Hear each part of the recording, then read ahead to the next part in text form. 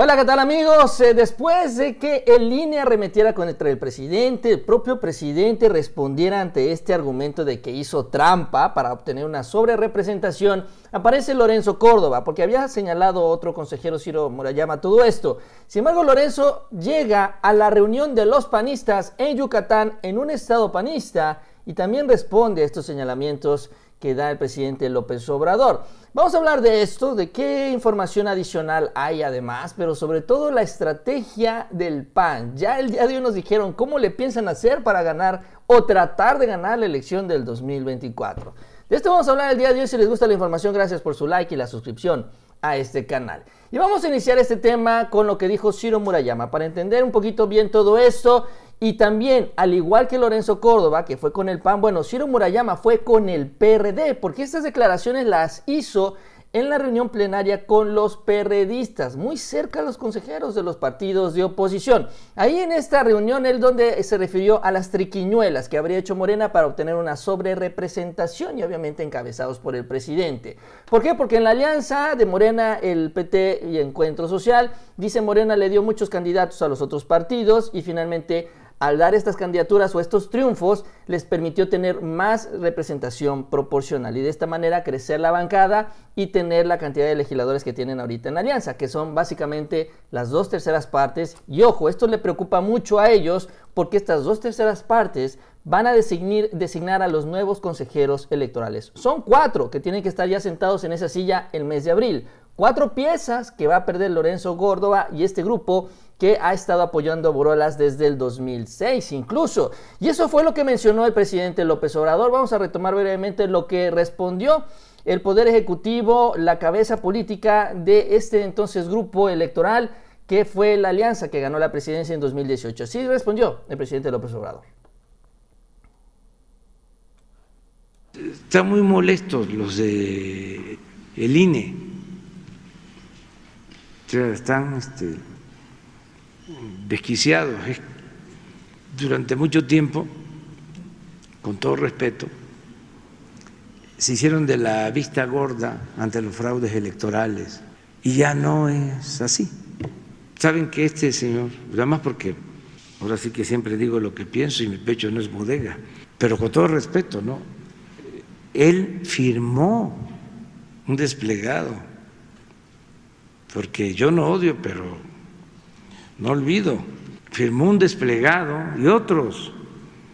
Estoy esperando que ofrezcan disculpa, un acto de honestidad, en donde este, la elección del 2006 este, había sido limpia. Ahí están, todos firmando. Estábamos pidiendo que se contaran los votos voto por voto, casilla por casilla, voto por voto, casilla por casilla. Y salen ¿no?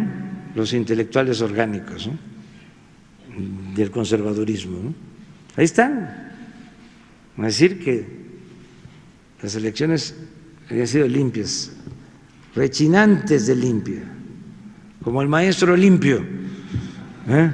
Este, y luego los premios, ¿no? A consejero del, del IFE. Sobre todo este señalamiento que es el más importante, como Felipe Calderón nos terminó premiando, incluso Ciro Murayama, eh, supuestamente en un aire de transparencia, bueno, nos ayuda sobre todo a rastrear algo que era inevitable, este desplegado que iba a terminar apareciendo, fechado el 3 de agosto del 2006 eh, un mes después del fraude de Borolas, la coexistencia y la pluralidad política, decía este desplegado, reclama la defensa de las instituciones de nuestra democracia. El punto más importante es el número 5. Dice, existe sin embargo una aguda controversia en torno a la limpieza y validez de la elección presidencial. Quienes firmamos este documento hemos seguido los argumentos y pruebas presentadas en el litigio. No encontramos evidencias firmes que permitan sostener la existencia de un fraude maquinado o en contra o a favor de alguno de los candidatos. En una elección que cuentan los ciudadanos puede haber errores e irregularidades, pero no un fraude.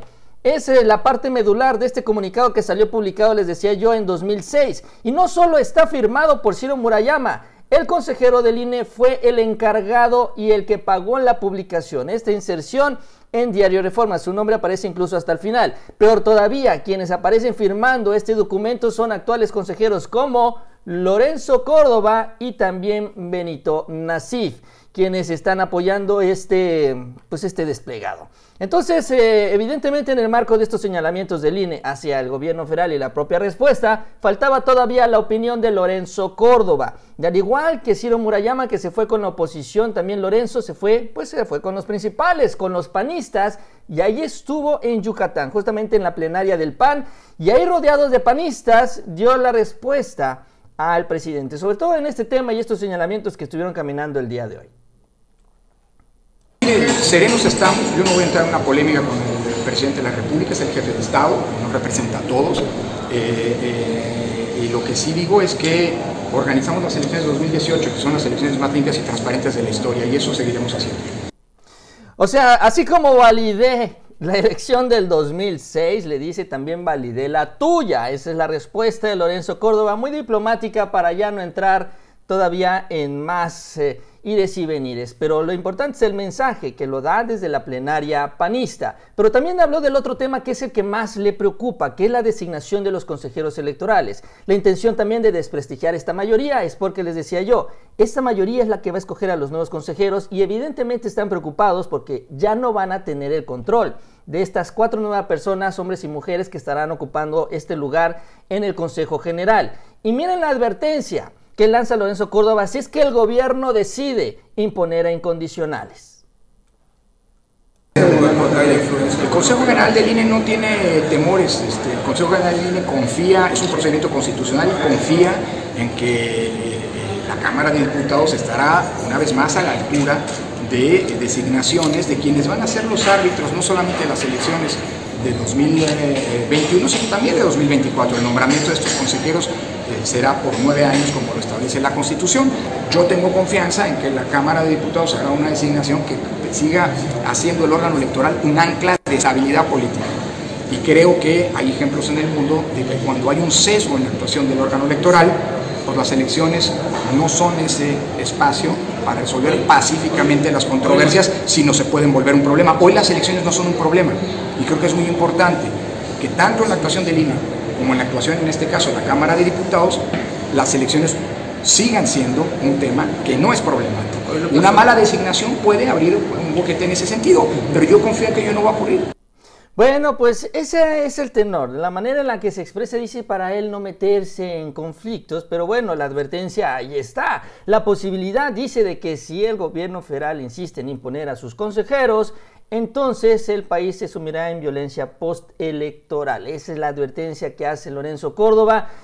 Y bueno, eh, también sobra decir, y muchos no tenemos confianza en el INE, es decir, es algo que estaría finalmente alcanzándose, eso es lo que esperamos con la renovación. Ahora, ellos les preocupan dos comisiones en particular. La primera de ellas, que es la comisión de quejas. Esta comisión de quejas es la que definió y la que el año pasado terminó por suspender la transmisión de la conferencia mañanera del presidente. Y evidentemente lo que quieren es mantener en firme esta decisión para la elección intermedia y evidentemente también para la elección presidencial, que se suspenda la transmisión total y absoluta de la conferencia mañanera del presidente. Por eso quieren el control de esta comisión de quejas. La segunda comisión, que es la natural, la de fiscalización, que es donde se checan los recursos de los partidos y donde evidentemente los gobernadores son los que pasan los goles, porque al final del día son los que terminan metiendo más dinero en la elección, a pesar de que actualmente ya es un delito grave. Entonces, son las dos comisiones y sobre todo la de fiscalización que con esta reforma de la ley tiene todavía un alcance mucho mayor.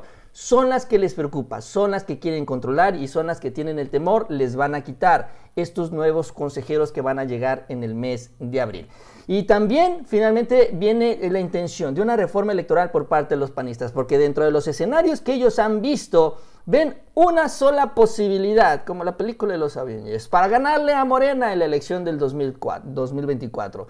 La única posibilidad de ganarle, así es como lo ven y lo están planeando, es que se haga una suma de todos los partidos, todas las fuerzas políticas en contra del candidato de Morena, en contra del trabajo del gobierno federal como una oposición única. ¿Cómo lo piensan lograr? Miren la agenda electoral, la agenda legislativa en materia electoral que presentó el PAN el día de hoy. Vamos a escuchar al coordinador parlamentario eh, del Senado, Mauricio Curi. Pero hay que defender al mismo tiempo también la libertad de la gente. Seremos una férrea oposición al ataque autoritario que ofende, lastima y captura instituciones. Pensamos que México necesita igualdad y libertad. Para ello vamos a buscar establecer en la, la, normativa del Senado de la República el Parlamento abierto con carácter obligatorio. Vamos a buscar establecer la segunda vuelta electoral. Y entonces con esta segunda vuelta esperan ya que, pues evidentemente en la primera, pues se vaya depurando, solo pase el primero, el segundo lugar y el resto de la oposición que se estaría sumando al PAN, porque es lo que obviamente quieren, se vaya sumando al candidato panista. De esta manera polarizar al partido en solo dos opciones y tratar de ganarle a Morena en el 2024.